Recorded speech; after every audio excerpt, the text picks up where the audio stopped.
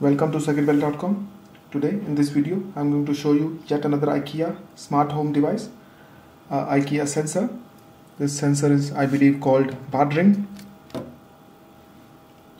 and it's a water detection sensor primarily used for indoor to detect water leakage for example in a in your washing area near to a washing machine or something like that and when it detects leakage of water when it detects water on the base of it and produces a sound it can be connected to as said as notified here it can be connected to ikea smart home as well.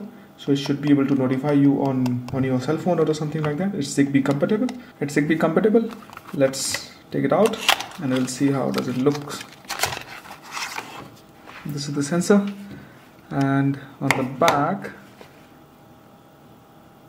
you have these two contact pads. This is where it detects the water. This is the battery compartment lock and unlock option I believe it opens from the front and this is a speaker output or buzzer output.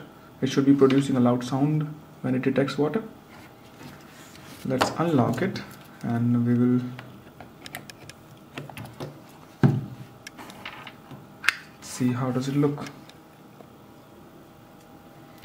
So this is how both of the part looks and you can see this there's a black color rubber gasket there and the speaker grill has membrane on it to prevent water getting into the device. This is where the buzzer is connected and the tone supposed to come out of here.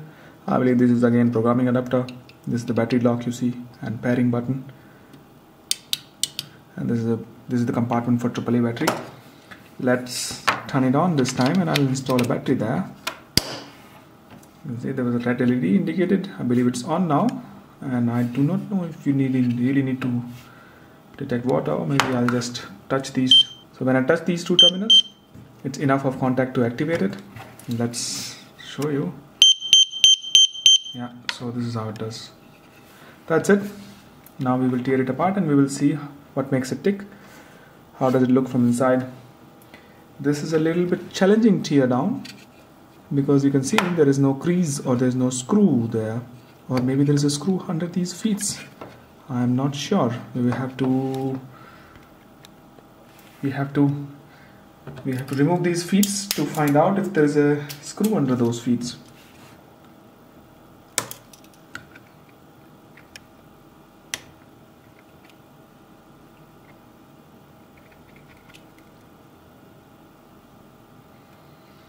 I do not see it's just at our feet or maybe I'll just take it apart and let's find out no I do not see anything. Maybe on this one? Same stuff. There are no screws in the bottom. Maybe if you see very closely there's a lock going down there and maybe we'll be able to get in from the side and pray it open from the side. Get my Victorinox and try to yeah so it was as easy as that. And uh, this is it? That's it this is the internals of, of this IKEA Badring sensor.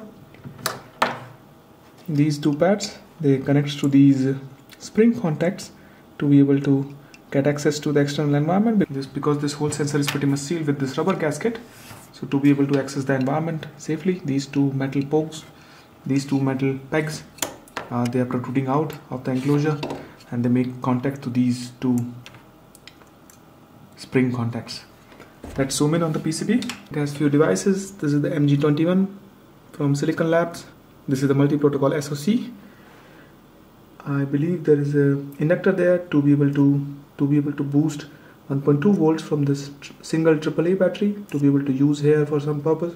Because of course they will not these ICs they will not be able to work on 1.2 volts coming from a single AAA so they're definitely boosting it there. So there are two diodes as well and there are two more SMD parts. And I believe these two diodes they are sitting right next to the both of the spring contacts so they are there for this ESD protection. They may be normal diode or TVS diodes specifically meant for ESD protection. And these two parts we will analyze their part number. We will look into it what these part numbers are and we will find out what those these things do. But first let's take the PCB out of the thing and we will see if there is something on the back as well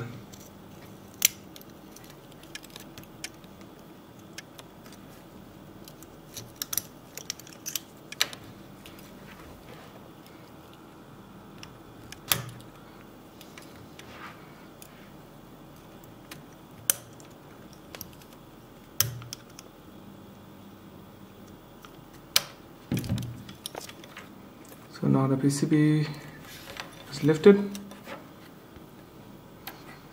Let's flip it. You can see on the plastic this is the place this is the place for button and grill for buzzer grill for buzzer places for programming. And if we flip the PCB we will see the exact same stuff. So this is definitely the pairing button and this is the programming place along with its TX, RX and everything else so this little part as it marks Q2 and this is also marked Q3 the most of them most likely both of them are going to be switching element. I have googled and 1AM is a general purpose NPN transistor and this is a MOSFET. And the part number of this 1AM marked part is MMBT 3904 3904 is a very generic transistor. It's used for multiple purposes. I don't know what it is used here for and let's look at the back. And same thing part marked with 1M 3904 transistor. So this is it. This is what uh, you see inside a Badring IKEA sensor. This was a quick video. I hope you enjoyed it. You can visit my website www.circuitvalley.com for high resolution images